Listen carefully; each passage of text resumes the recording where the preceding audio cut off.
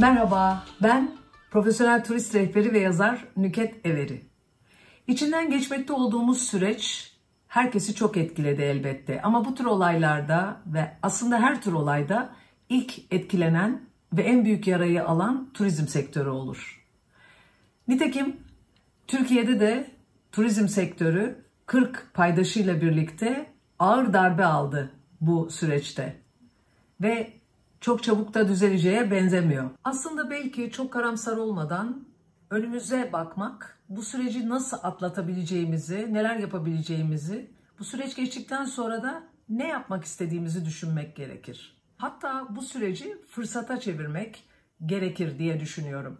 Ben örneğin gazetede yazdığım yazılarımda madem seyahat edemiyoruz ne yapabiliriz? Evden neler yapabiliriz diye fikirler vermeye çalışıyorum. Size bir örnek vereyim.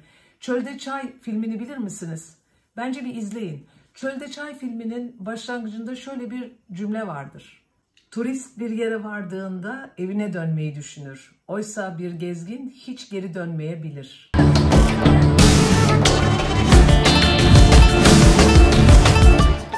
Evet, belki gerçek bir gezgin olmayı öğrenmek için çok güzel bir fırsat. Çünkü önümüzde bizi çok farklı bir dönem bekliyor. Çok şey değişecek. Bundan sonra herkesin kriterleri, istekleri, beklentileri değişecek. Aslında değişti de.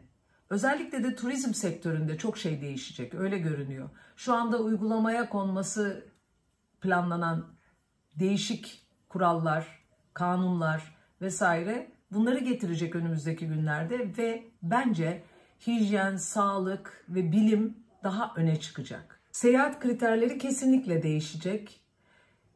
Türkiye'ye faydadan çok zarar verdiğini düşündüğüm kalabalık ve ucuz kitle turizmi sona erecek ve yerini her zaman savunduğum kaliteli kültür turlarına bırakacak. İşte biz bu süreçte kendimizi güzel gezilere, gezgin olmaya adayarak zaman geçirebiliriz ve güzel günlerde gerçek gezginler olarak güzel gezilerde buluşmak dileğiyle hepinize sağlıkla kalın diyorum.